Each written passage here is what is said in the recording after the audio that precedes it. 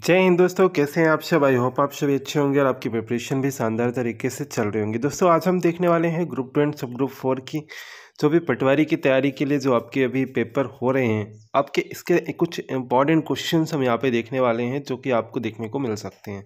बहुत ही शानदार प्रश्न है, आप सभी इन्हें लास्ट तक देखिएगा। इसमें आपको मैथ भी मिलने वाला है, यानी कि गणित भी मिलने वाला है और आपके जी का पार्ट साइंस का पार्ट ये चीज़ें आपको यहाँ पे मिलने वाली हैं। तो सभी क्वेश्चन यहाँ पे हम कर लेते हैं। आप सभी को आई होप आप सभी को क्वेश्चन क्लियरली शो हो रहे होंगे। तो थोड़ा सा हम स्पीड के साथ कर लेते हैं। केवल आपके क्वेश्चन इंपॉर्टेंट मुझे लगे, इसलिए मैंने यहाँ पे आपके साथ शेयर करने का प्रयास किया है। ठीक है? दोस्तों, आपसे पूछा जाए, पहला क्वेश्चन यहाँ पे पूछा गया कि किसे King Hamad Order of the Renaissance Award प्रदान किया गया है? दोस्तों, ये जो अवार्ड है आपका King Hamad Order of the Renaissance Award जो प्रदान किया गया, ये किया गया दोस्तों नरेंद्र मोदी को। किसे किया गया है? दोस्तों याद रखिएगा, यह अवार्ड प्रदान किया गया है किसे? नरेंद्र मोदी, जो आपके प्रधानमंत्री हैं प्रेजेंट टाइम पे, इन्हें प्रदान किया गया है। ठीक है, नेक्स्ट है, महिला ओडीआई वर्ल्ड कप 2025 की मेज़बानी किसके द्वारा की जाएगी? ये डायरेक्टली क्वेश्चन आपके एग्ज़ाम में छप सकता है कि करंट से क्वेश्चन है आपका। तो महिला ओडीआई वर्ल्ड कप 2025 की मेज़बानी जो करेगा दोस्तों, आपके वो करेगा भारत। ठीक है, कौन करेगा? याद रखिएगा, भारत करने वाला है। ठीक है, नेक्स्ट है सी आई एस आर की सी एस आई आर की पहली महिला निदेशक किसे नियुक्त किया गया है? मोस्ट इंपॉर्टेंट क्वेश्चन है दोस्तों, याद रखिएगा, नथा जो आपके यहाँ पे देखें सॉरी नल्ला थम्बी कलाई सेल्वी। ठीक है सी एस आई आर की पहली महिला निदेशक किसे नियुक्त किया गया है? तो नल्ला थम्बी कलाई सेल्वी मोस्ट इंपॉर्टेंट है, याद रखिएगा दोस्तों। क्या नाम है इनका? नल्ला थम्बी कलाई शेलवी, जो कि आपके नियुक्त किए गए हैं। ठीक है नेक्स्ट क्वेश्चन है। नेक्स्ट क्वेश्चन है दोस्तों कि उदार शक्ति नामक युद्ध अभ्यास किन दो देशों के मध्य संपन्न हुआ है?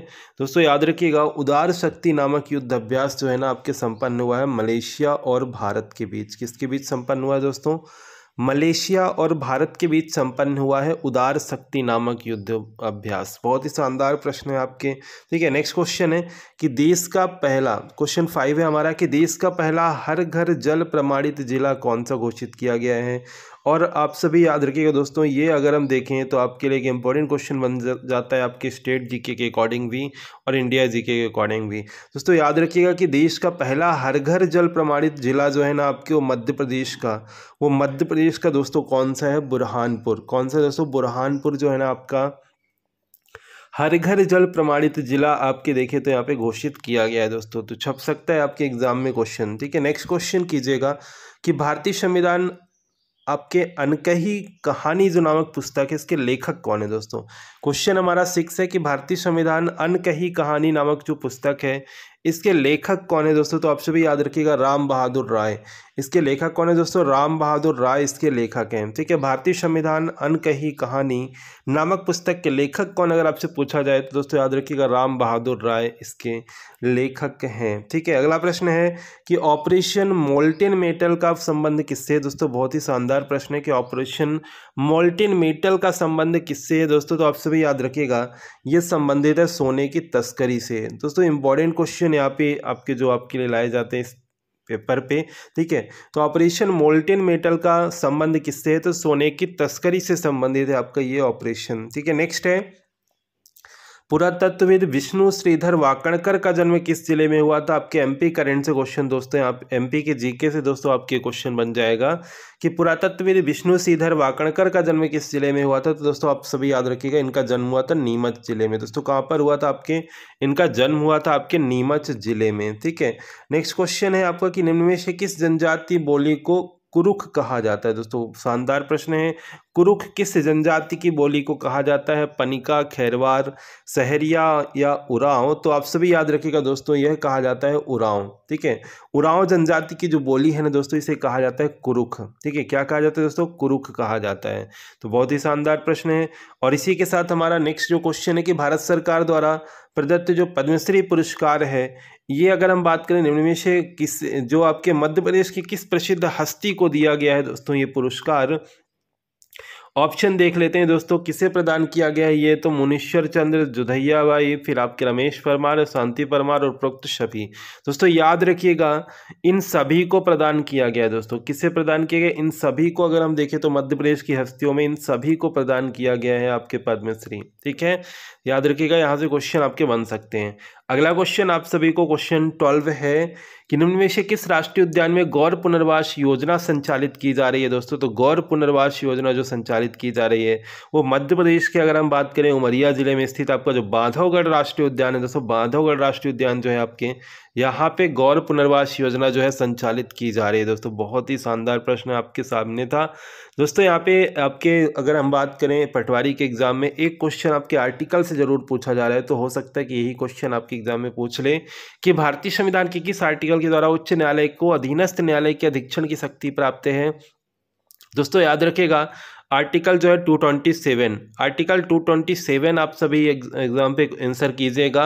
यदि आपसे पूछा जाए कि किस आर्टिकल के द्वारा उच्च न्यायालय के अधीनस्थ न्यायालय के अधीनस्थ की शक्ति प्राप्त, अधीक्षण की शक्ति प्राप्त है आपके तो आप सभी कीजिएगा आर्टिकल टू ट्वेंटी सेवन ठीक है नेक्स्ट क्वेश्चन दोस्तों क्वेश्चन फोर्टीन है कि जो खरोष्ठी भाषा है आपके, इसमें अशोक के कौन से शिलालेख लिखे गए हैं? दोस्तों जीके से अगर हम देखें तो हिस्ट्री से भी क्वेश्चन आपके एग्ज़ाम में बन रहे हैं। और आप सभी याद रखिएगा मनसेहरा मनसेहरा जो है ना आपके दोस्तों, यहाँ पे अगर हम बात करें, खरोष्ठी भाषा में जो अशोक का शिलालेख लिखे गए हैं, वो है आपके दोस्तों मनसेहरा ठीक है? इंपॉर्टेंट क्वेश्चन आप सभी देख सकते हैं, ठीक है? मनसेहरा ठीक है? मानसेहरा नेक्स्ट क्वेश्चन कीजिएगा। नेक्स्ट क्वेश्चन है कि तुर्कान ए चहलगानी नामक जो दल है, किस शासक द्वारा बनाया गया था दोस्तों? मोस्ट इंपॉर्टेंट क्वेश्चन है कि तुर्कान ए चहलगानी नामक जो दल है, किस शासक द्वारा बनाया गया था? तो आप सभी दोस्तों आंसर कीजिएगा कि इल्तुसमिस के द्वारा बनाया गया था। दोस्तों, किसके द्वारा बनाया गया था? इल्तुसमिस के द्वारा दोस्तों बनाया गया था तुर्कान ए चहलगानी नामक जो दल आपके बनाया गया था। ठीक है नेक्स्ट क्वेश्चन है कि किस नदी को बांग्लादेश में जमुना कहा जाता है? दोस्तों, आपके रिवर से भी क्वेश्चन आपके एग्ज़ाम बनते हैं। और अगर हम बात करें किस नदी को, बांग्लादेश में जमुना कहा जाता है, दोस्तों, बहुत ही शानदार प्रश्न है। और ब्रह्मपुत्र नदी को, दोस्तों, कौन सी नदी आपके? ब्रह्मपुत्र नदी को, दोस्तों, आपके बांग्लादेश में किस नाम से जानते हैं? तो जमुना के नाम से, दोस्तों, जानते हैं। किस नाम से? जमुना के नाम से। ठीक है नेक्स्ट क्वेश्चन आपका साइंस से बन सकता है कि ब्लैकफुट नामक रोग जो है किसके कारण होता है, दोस्तों, याद रखिएगा।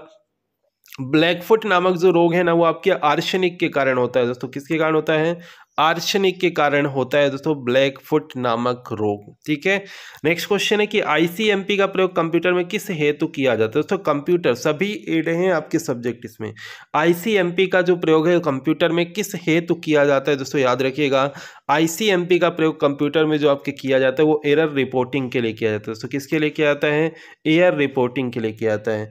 इसका फुल फॉर्म होता होगा आपके आईसीएमपी का, क्या होता है? एक बार बताइएगा आप सभी कमेंट करके कि आईसीएमपी का फुल फॉर्म क्या होता है, जो एरर रिपोर्टिंग के लिए आपके देखे तो प्रयोग किया जाता है आपके। ठीक है नेक्स्ट है इंटरनेट कंट्रोल मैसेज प्रोटोकॉल जो आपके ईमेल के संबंध में जो आईएमएपी है, इसका विस्तारित रूप क्या होता है? यानी आपसे पूछा गया कि आई का फुल फॉर्म क्या होता है, आपसे ये पूछा गया। आई का फुल फॉर्म क्या होता है, आपसे ये पूछा गया। है दोस्तों, आप सभी याद रखिएगा आई एम ए पी का फुल फॉर्म जो होता है ना, आप सभी याद रखिएगा internet internet messaging access protocol होता है। दोस्तों इंटरनेट मैसेजिंग एक्सेस प्रोटोकॉल जो आपको फ़र्स्ट ऑप्शन दिया गया दोस्तों, ये आपका ईमेल के संबंध में अगर हम बात करें आई एम ए पी का विस्तारित रूप हो जाएगा आपके। क्या हो जाएगा?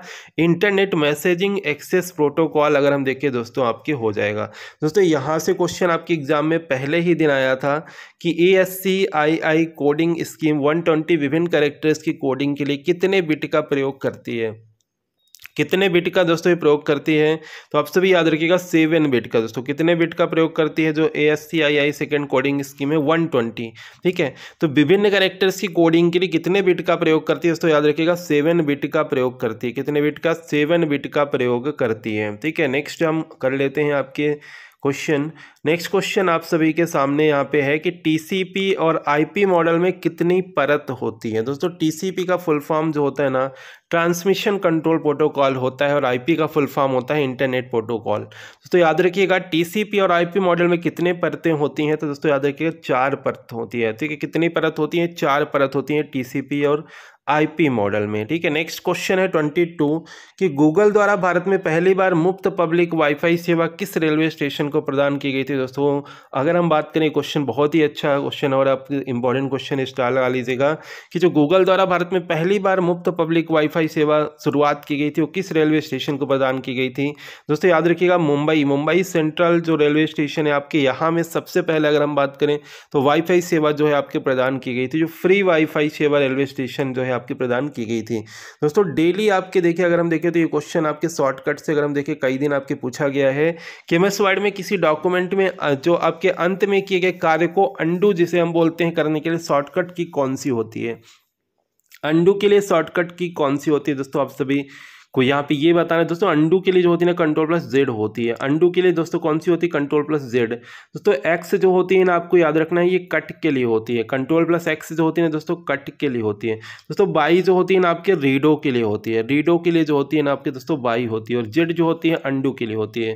ठीक है? तो ये आप सभी यहाँ पे याद रखिए। अच्छा नेक्स्ट क्वेश्चन कीजिएगा ट्वेंटी फोर कि माइक्रोसॉफ्ट एक्सेल वर्कशीट में चयनित सेल का पता कहाँ प्रदर्शित किया जाता है? दोस्तों एक्सेल की बात की गई है कि माइक्रोसॉफ्ट एक्सेल वर्कशीट में चयनित जो सेल है, जो आपने सेलेक्ट किया है सेल को, वो आपके कहाँ पर प्रदर्शित होता है? दोस्तों, ये नेम बॉक्स में होगा ना, आपके नेम बॉक्स सेल का नाम कहाँ पे दिखेगा? तो नेम बॉक्स में आपको दिखेगा। ठीक है, ये आपको यहाँ पे याद रखना है इंपॉर्टेंट क्वेश्चन आपके बन जाता है। दोस्तों आप सभी के सामने आ गया है, हिंदी से क्वेश्चन के जिन व्यंजनों के उच्चारण में दोनों ओष्टों द्वारा स्वास्थ्य का अवरोध होता है, वो क्या कहलाते हैं?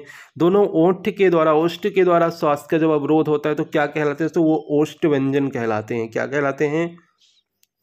ओष्ठ व्यंजन कहलाते हैं दोस्तों इसमें दोनों ओष्ठों द्वारा श्वास का अवरोध होता है। तो क्या कहलाता है? ओष्ट व्यंजन कहलाता है। ठीक है नेक्स्ट क्वेश्चन दोस्तों, कि सरकार किस भाषा का शब्द है दोस्तों? किस भाषा का शब्द है आपका जो ये सरकार है?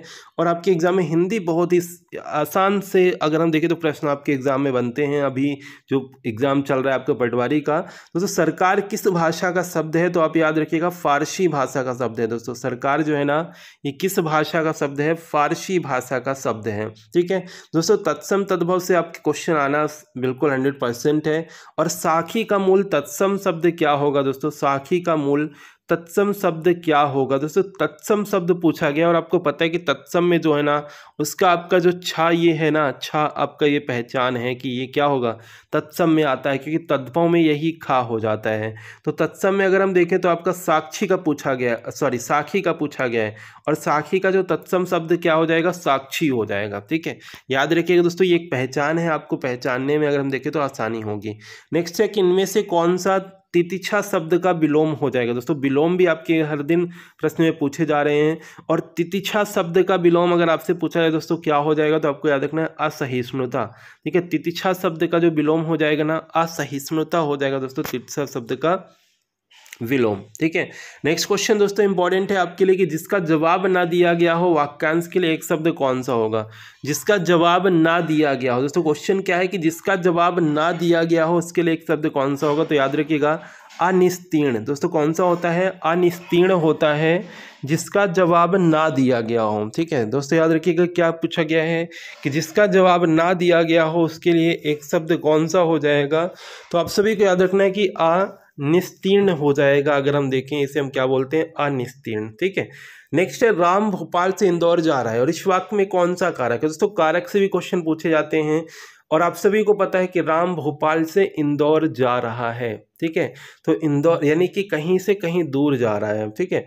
और जब यहाँ पे आपको बात करें, ऐसा जब आपको देखने को मिले कि कहीं से कहीं दूर जाने की बात की जाए एक अलगाव की बात की जाए, ठीक है तो एक अलगाव की बात की जाएगी तो आप क्या करेंगे? आंसर अपादान हो जाएगा। क्या हो जाएगा दोस्तों? अपादान हो जाएगा, ठीक है?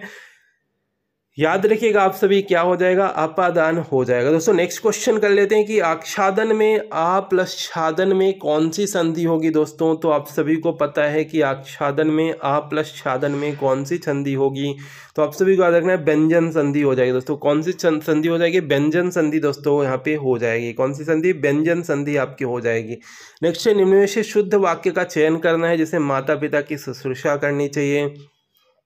तूफ़ान आने का संदेह है, अनेक निरपराध दंड के भागी हुए। तो यहाँ पे अगर हम देखें, एक बार सभी ऑप्शन को देख लेते हैं और अभी आपको इसमें मैथ के भी क्वेश्चन भी मिलने वाले हैं। तो आप सभी लास्ट तक सभी क्वेश्चंस को देखिए। ठीक है? बहुत ही शानदार प्रश्न है आपके यहाँ पे देखें, इसीलिए मैंने आप ही इन्हें ऐड किया है।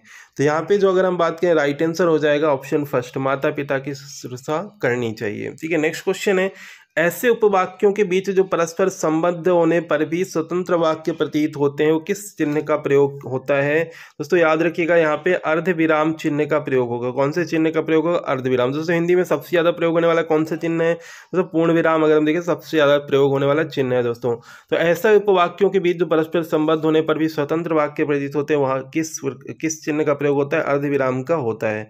दोस्तों नेक्स्ट क्वेश्चन है, लोकोक्ति से कि नीम, हकीम, खतरे, जान। लोकोक्ति का अर्थ क्या हो जाएगा? नीम, हकीम, खतरे जान। यानी दोस्तों, अब अल्पज्ञ ज्ञान अगर हम देखें तो एक तरह से भयंकर अगर हम देखें तो खतरनाक होता है। ये आपसे यहाँ पे पूछा गया है कि इसका अर्थ क्या हो जाएगा? यानी कि अल्पज्ञ, अल्प ज्ञान जो है ना, वो आपके भयंकर होता है दोस्तों। ठीक है? अल्प ज्ञान जो होता है वो आपके भयंकर होता है। यानी कि ज्ञान रखिए तो ज़्यादा रखिए। ठीक है? चलिए नेक्स्ट है। निम्न से कौन सी क्वांटम संख्या किसी परमाणु के कक्षक के अभिविन्यास का निर्धारण करती है? दोस्तों थर्टी फाइव क्वेश्चन है कि कौन सी क्वांटम संख्या किसी परमाणु की कक्षक के अभिविन्यास का निर्धारण करती है, दोस्तों, ये है आपके चुंबकीय क्वांटम संख्या। दोस्तों, कौन सी क्वांटम संख्या है?